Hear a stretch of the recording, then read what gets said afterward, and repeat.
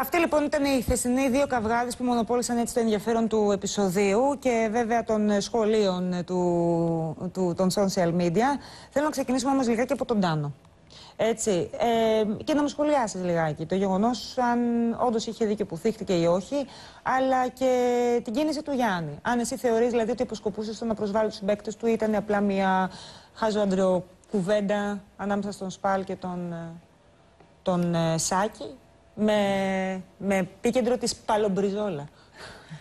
Μάλιστα. Λοιπόν, ε, ο Γιάννης είναι ένα πολύ καλό παιδί και όλα αυτά τα οι πλάκες ή ο τρόπος που μιλάει έχουν και αρκετές δόσεις ε, είναι κίνηση μερικές ναι. φορές. Είναι λίγο πιο. Όχι όμως ναι, σεξιστικά, έχει ναι. διαφορετικό το ένα με το άλλο. Δεν είναι, το, δεν είναι σεξιστικά δηλαδή μεταξύ των δύο φίλων, ότι για τις γυναίκες ή για τους άντρες. Είναι λίγο παραπάνω κίνκι. Πιο πολύ.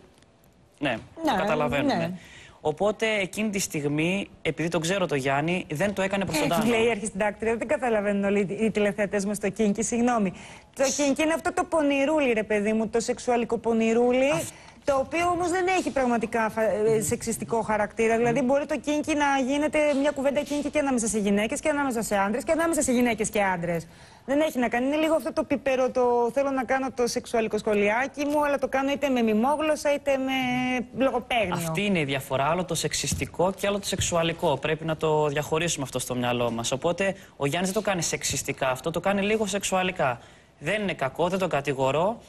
Νομίζω όμως ότι όταν πεινάει μια ομάδα, και το έχω νιώσει, όταν πεινάει μια ομάδα και η υπομονή είναι, ξέρεις, σε ένα τεντωμένο σκηνή, που αν κερδίσεις είναι όλα καλά, όπως είναι και το τραγούδι The Winner Takes All, το yeah. και στα παίρνει όλα. Είναι όλα καλά άμα κερδίσεις. Άμα χάσεις, το θέμα είναι το πώς θα το αντιμετωπίσεις.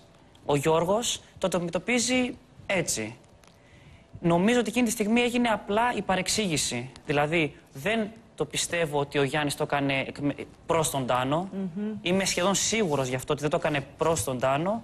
Και ο Τάνος, επειδή αντιδράει έτσι σε μια ενδεχόμενη νίκη ή σε μια ενδεχόμενη ήττα, παρεξηγήθηκε πολύ εκείνη τη στιγμή. Νομίζω ότι είναι μια παρεξήγηση που τελειώνει εκεί. Θα δούμε και στη συνέχεια πώς λύθηκε η παρεξήγηση και τι υπόθηκε πριν τη λήξη της παρεξήγησης.